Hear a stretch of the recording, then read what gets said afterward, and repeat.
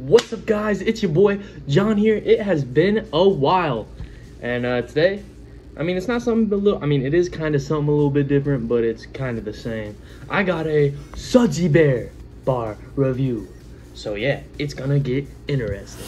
So not only did they send me the one bar of soap that I ordered, they sent me not one, not two, but three sample bars to come along with it. They sent me the Grinch rinse the Scrooge Scrub, and Old Saint Nick. They all basically kind of have the same uh, base piney scent to me, like a basically it's all like a Christmassy piney, almost a pepperminty scent, in all of them. But they're all they're all very good in their own way. So I was very surprised to get them, and also for them to smell that good.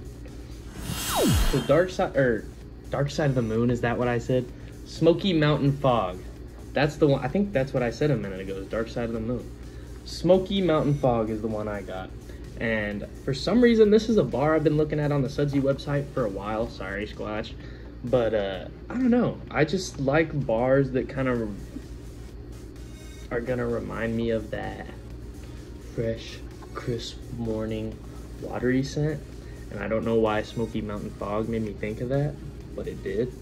So I decided to buy it and I did, and I love it. I would say this bar is almost like Sudsy Bear's version of Fresh Falls, and I love Fresh Falls. Fresh Falls is one of my favorite bars, if not my favorite bar in the Squatch catalog. So the fact that I find this similar automatically makes it one of my favorite bars from the Sudsy Sudsy catalog. But uh, I also haven't used a lot of Sudsy Bear bars. I used one other one called Wild Cherry. That one did smell pretty damn good. Now I got this one, which smells pretty damn good.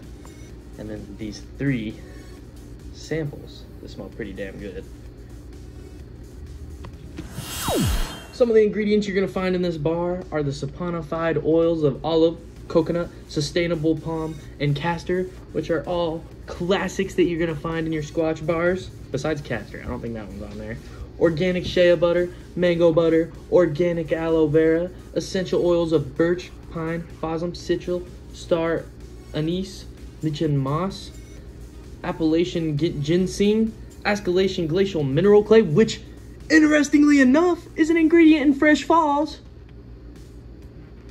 Finely ground silica sand, activated charcoal, kaolin clay, and sea salt, which kaolin clay and sea salt are also ingredients in the uh, Fresh Falls bar. I don't know if uh, that has any correlation to why I think they smell similar, but I'm sure it does. Yeah. But not only does the bar smell amazing, it looks amazing. I love the bars that have kind of like a cool little look to them, and I love the color blue. So this bar automatically wins in my book, and it does look cooler than Squatch's uh, Fresh Falls, but I do like the smell of Fresh Falls better. But this one wins in the looks category for sure. Sudsy Bear also, to be honest, has upgraded their boxes a lot. One of my buddies, when they ordered me the wild cherry one, I believe they got me another one as well. I forget what that one was, what that one was, and they it came in a little paper like thing, like it didn't even come in a box or anything. And I found that to be almost a little bit trashy, but I mean, not trashy. I don't know why I said that but lazy almost, I guess. So I really like that they got the boxes for most of the bars, I'm assuming now. Um, yeah, that's, that's a good upgrade for them. Anyway, my overall analysis of this Sudsy Bear haul is that I do really like it. I might have to buy more bars and review them on the channel. I really enjoyed this one, and uh, I'm sure there's others I'd really enjoy as well, especially with how much I love Dr. Squatch, and I love to try new stuff. So, uh, yeah. Anyway, if you liked the video, why don't you go ahead and drop down in the comment section. Tell me what you liked, tell me what you didn't like. Drop a like, subscribe, and I don't know if you guys noticed, but we are at the 191 subscriber mark. So that means we almost to 200. So soon a 200 subscriber special will be coming out. And let me tell you, am I excited? I didn't think I would ever make it there. Um, but anyway, let me get out of here. Quit speed talking. Peace.